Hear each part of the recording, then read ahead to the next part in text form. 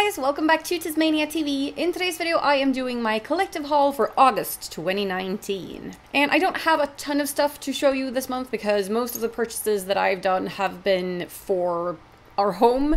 We are renovating and doing some redecorating and this will be the final step for the apartment before we've redecorated everything since we moved in 10 years ago. So this fall I will finally be able to do a complete house tour for you guys. Yay! And I'm not going to be showing you the stuff that I've purchased for the apartment in this video because you'll see that in an upcoming video and it's weird to just like pick random pieces of stuff. I don't usually show you things that I buy for the apartment. So I'm going to focus on stuff that's just for me. Anyway, let's kick things off with four awesome items from our pals over at Shein. As always, they have a discount code for you, and you will find it along with the direct links to everything that I'm about to show you in the caption box. So head there if you see items you like and if you want a discount. Starting out, we have a pair of magazine print jeans. These are a fun pair of very detailed jeans containing lots of different magazine prints. The jeans aren't very stretchy, so they fit nice and tight. They have all the standard details like pockets and such. And I haven't decided if I'm keeping these as they are or if they're getting some sort of makeover. I will have to get back to you on that. But it's a fun pair of jeans either way. Next up are these amazing wet look leggings. I've had leggings like these before, but it's been a while and I decided it was time to get them again. These look and fit so damn amazing, it's like a second skin. You guys know how obsessed I am with plastic looking things. I love that they are three quarter length, it's perfect with my docs. The waist is nice and high, not too tight, they sit perfectly over my belly, but there are two problems with these beauties. First, the noise. Since I don't have a thigh gap, this sound is inevitable when I'm walking around in these. And someone recommended I try using latex spray, like the spray that you use to give latex that wet look. I haven't tried that yet, but I'm definitely gonna try it. And then the second thing is, these are really thick and warm and so damn tight. It took me some time to put these on, to be honest. So I don't know if I want to wear these where when I know I'm gonna have to go to the bathroom because I don't want to end up in a Ross situation where I'm like in the bathroom, I take these off, I pee, and then when I put them back on, they no longer wanna come on. You know, that's ah, you don't want that to happen. but those issues aside, these are amazing. They are full coverage. You can wear them as trousers, even though they are leggings. They are super soft and stretchy, easy to move around in. So I really hope I get some use out of these. If you, by the way, have pants like this at home and you have ideas for how to get rid of the squeaky noise or the being extremely sweaty and not being able to put them on. Will you let me know how to do it in the comments, please? And we are moving on to a jacket. Fall is approaching and I am obsessed with jackets and with leopard print, so this happened.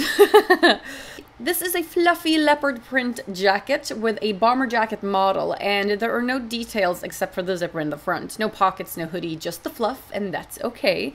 It's very, very soft, and the inside is lined, so it will keep you warm during the chillier season, and I really like this jacket. I love that it's a cold tone leopard print because most leopard print thingies are that kind of brownish tone, which I don't like. Now that my hair is back to the silvery, whitish blue, whatever you want to call it, I'm going to pair it with like cold tones. So I'm really happy that it's a grayish, whitish uh, leopard print jacket because I do have a leopard print jacket from Shein from before that's a warm colored one. And finally, we have a backpack. I had this type of backpack as a kid and recently got one for myself that I then ended up forgetting in a cab on the same night that I got it. So stupid. So I was super happy when I saw that Shein had them as well. I got the black and white checkered one because black and white go with everything. These are so basic and simple, which is perfect because you can have them folded up in your regular bag and then just take them out when you need more space for stuff, like when you're shopping. The material is kind of plasticky, so keep that in mind if you want to buy one of these bags and just prefer a more softer, more fabric-like look and feel. I don't actually mind because again, I kind of like plastic, so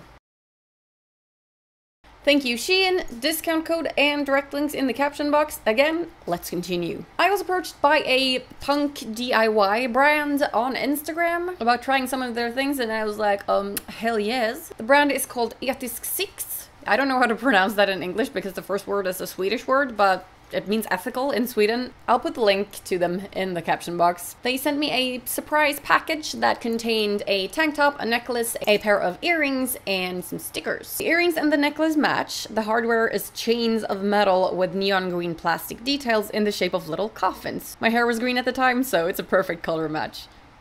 The tank top is white with a neon green print. I don't know if that spelling error is on purpose, but waist-lad is pretty fucking funny too, so I don't actually mind.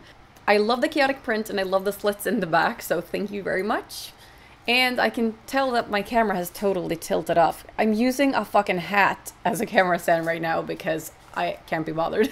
so, so if it's like, eh, you know why. Next, we have four items that were sent to me by lovelywholesale.com. They also have a discount code for you, so go check the caption box for that. First up, we have a bathing suit. A black and white stripy one-piece suit in a halter model that you tie in the back of the neck. It's a pretty cute bathing suit, but the way the high waist looks in the back, like it's scrunched it up into a non-flattering way that I'm not too fond of. But other than that, I like this. And I like that it can be kind of used as a halter top as well. It's not an obvious bathing suit in a way that some swimwear can be. I'm sure it would look nice with some shorts or a skirt. Next, they sent me a short neon yellowish green dress with some motorcycle type prints on it and some slits here and there. And I'm pretty sure this comes in other colors as well. This has a little bit of transparency, so I'm wearing skin tone undies here. It's a nice and sleek fabric. I, however, don't like that the white inside of the fabric sometimes shows through the slits. At least if I'm wearing necklaces, which I always am. But all in all, it's a cute, simple, tight dress. And then we have two other dresses that I actually ended up giving away to a friend of mine because the fit is off and they're actually not my style at all. The first is this red maxi dress. It's a great soft and stretchy fabric, don't get me wrong, but it is clearly made for a taller person because it is way too long for me. And also, the pockets on the sides ride so low on me, it just looks weird. My friend who's like 10 centimeters taller than me, she looks great in it though. So if you're tall and you want a nice flowy maxi dress, this is the dress for you. And the last dress from Lovely Wholesale, yeah, it's a shirt dress in yellow plaid. What the fuck was I thinking? Another maxi dress buttoned all the way down the front and made to fit in the waist through an included band. I feel like a housewife or something in this dress. And again, it's pretty long. It has pockets, better placed than on the red dress. So yeah, there's nothing wrong with the dress or with the quality. It's just not a TezMania dress at all. And in all honesty, very few things from lovelywholesale.com are TezMania friendly or part of my aesthetic so I probably won't work with them again. Again, not because of quality or issues, just because I'm not their target group.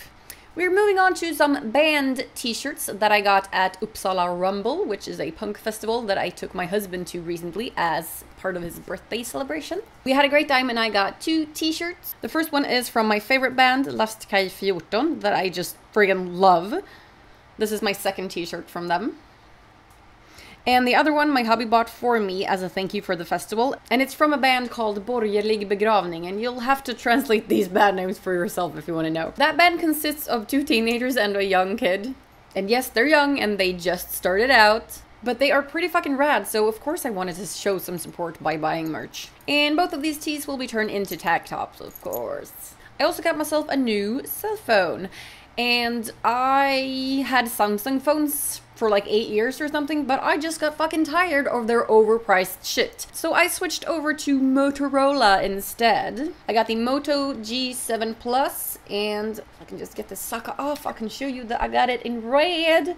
Look at that. Oh, and it's nice and big. This is my old phone, and as you can tell, it is bigger, and a client is calling right now. Shit. Wow, I cannot finish recording in peace today. Okay, I'm gonna try to get through this last part uh, fast. So yeah, the new phone, very happy, and you saw the difference, blah blah blah, all that jazz.